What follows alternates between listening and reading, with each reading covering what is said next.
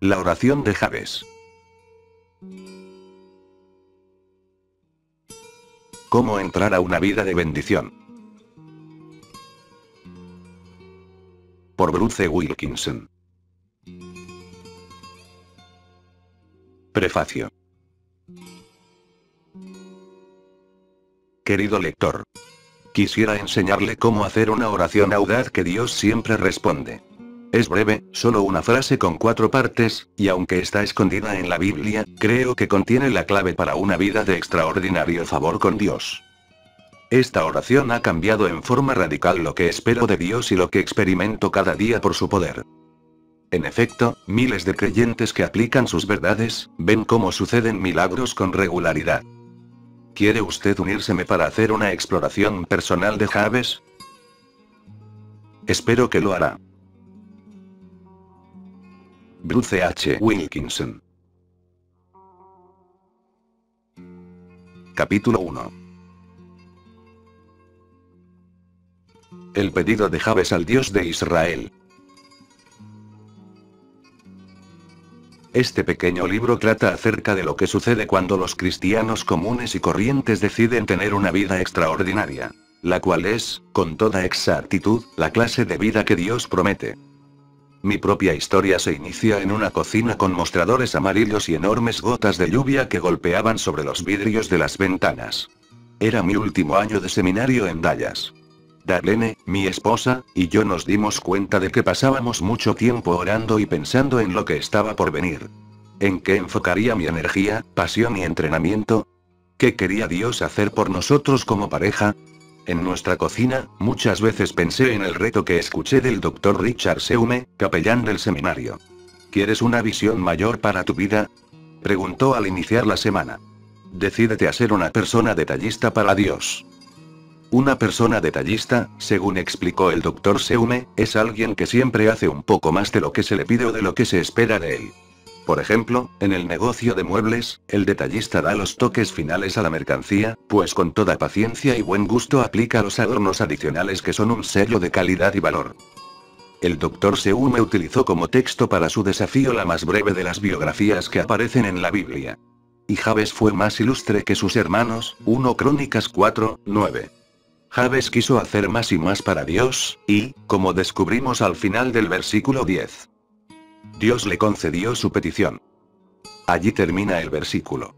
Ese es el final del relato bíblico. Señor, creo que quiero ser detallista para ti, oré mientras miraba por la ventana la ruidosa lluvia de primavera.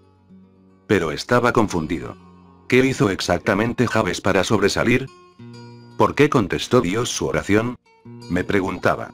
Y en cuanto a ello, ¿por qué Dios permitió que se incluyera la breve reseña de Javes en la Biblia? Quizá eran las gotas de lluvia que resbalaban por la ventana. De repente mis pensamientos se deslizaron más allá del versículo 9. Tomé la Biblia y leí el versículo 10, la oración de Javes. Algo en esta súplica explicaría el misterio. Tenía que ser. Alcancé una silla hasta el mostrador amarillo, me incliné sobre la Biblia y leí esa oración una y otra vez. Indagué y escudriñé con todo mi corazón por el futuro que Dios tenía para alguien tan común como yo. La mañana siguiente hice la oración de Javes, palabra por palabra. Y la próxima. Y la siguiente. Después de 30 años, no me he detenido.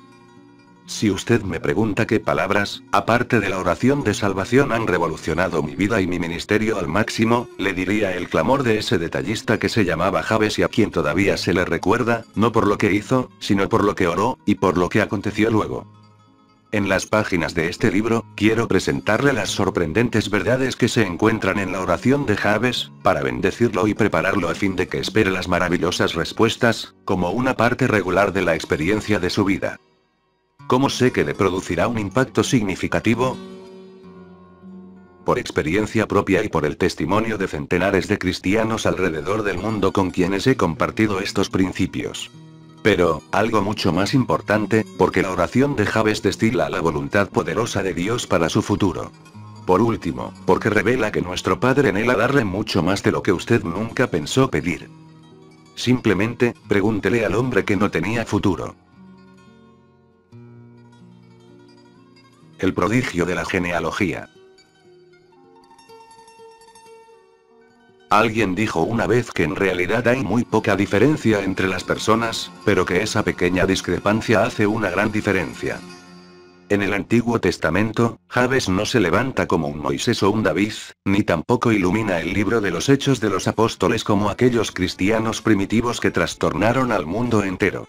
Pero una cosa sí es segura. La pequeña diferencia en su vida hizo toda la diferencia. Usted podría pensar en él como el prodigio de la genealogía o el pequeño gran hombre de la Biblia. Y lo hallará oculto en la sección menos leída de uno de los libros menos leídos de la Biblia. Los primeros nueve capítulos de Primera de Crónicas se refieren al árbol genealógico oficial de las tribus hebreas, comenzando con Adán a través de miles de años hasta el regreso de Israel de la cautividad. Habla hasta el aburrimiento.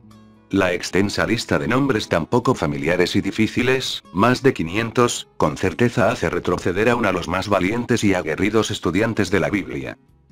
Tomemos el capítulo 4. Los descendientes de Judá. Pérez, Azrón, Carmi, Urisoba.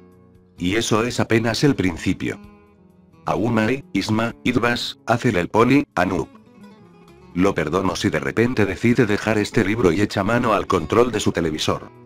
Pero, quédese conmigo.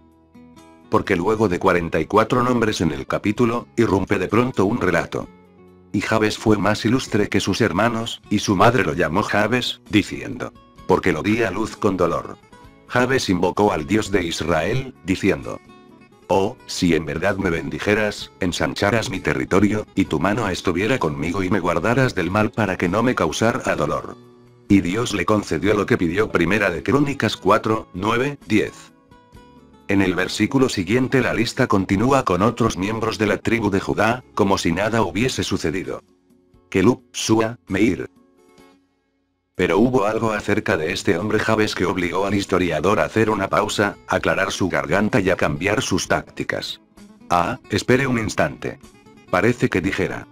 Precisamente tiene que saber algo acerca de este hombre que se llama Javes.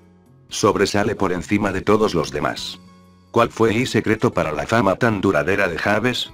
Puede escudriñar la Biblia de comienzo a fin, como lo hice, y no va a encontrar ninguna información más, aparte de la que tenemos en estos dos breves versículos. Las cosas comenzaron muy mal para una persona de la que nadie había oído antes. Pronunció una oración muy poco común, de cuatro pequeñas frases. Todo terminó extraordinariamente bien. Con toda claridad el resultado se puede rastrear desde su oración. Algo acerca de la petición de Javes a Dios, directa y sencilla, cambió su vida y dejó una marca peleznante en los libros de la historia de Israel. Bendíceme y ensancha mi territorio. Ayúdame y líbrame del mal, para que no padezca aflicción. A primera vista, las cuatro peticiones pueden parecernos sinceras, sensibles y hasta nobles, aunque no son muy sobresalientes. Pero justo debajo de cada una yace un gran principio capaz de romper los paradigmas, que se opone de modo exacto a la forma en que usted y yo pensamos casi siempre. En las próximas páginas, quiero demostrar cuán dramáticamente cada una de las peticiones de Javes puede producir algo en verdad milagroso en su vida. Viva más allá de los límites. ¿Cuándo fue la última vez que Dios obró a través de usted, en tal forma que supo, sin duda alguna, que fue Él quien lo hizo? En efecto, ¿cuándo fue la última vez que vio suceder milagros en forma regular en su vida? Si usted es como casi todos los creyentes que conozco, no sabría cómo pedir para tener esa clase de experiencia, incluso si debería hacerlo. Lo que tengo que decirle ha preparado vidas para la obra poderosa de Dios durante muchos años.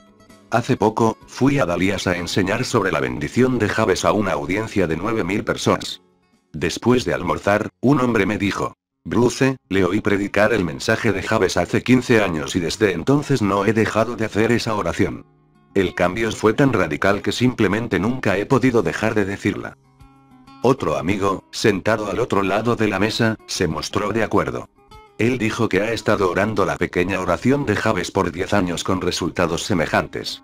El hombre que estaba a su lado, un cardiocirujano, de Indianápolis, mencionó que desde hacía 5 años la estaba repitiendo. Así que les dije. Amigos, he hecho la oración de Javes más de la mitad de mi vida.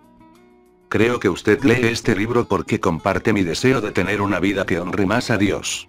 No es que usted quiera que los demás alcancen menos. Pero solo quedará satisfecho si recibe la más completa bendición de Dios. Cuando esté ante Él para rendir cuentas, su anhelo más profundo será oír. Bien hecho. Amigo, en verdad, Dios tiene bendiciones que usted no ha reclamado que esperan por usted.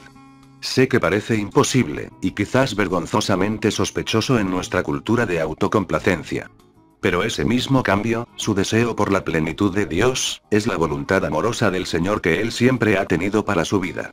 Y con un puñado de compromisos clave por su parte, puede seguir desde este mismo día en adelante con la confianza y la esperanza de que nuestro Padre Celestial hará que se cumpla en usted. Piénselo de esta manera. En vez de estar a la orilla del río y cada día pedir un vaso de agua para sobrevivir, haga algo impensable. Tome esa pequeña oración con la recompensa grande y saltará dentro del río. En ese momento comenzará a dejar que las corrientes amorosas de la gracia y el poder de Dios lo lleven adelante. El grandioso plan de Dios para usted le rodeará y le transportará a la vida profundamente importante y satisfactoria que le tiene prometida. Si eso es lo que usted quiere, por favor continúe leyendo.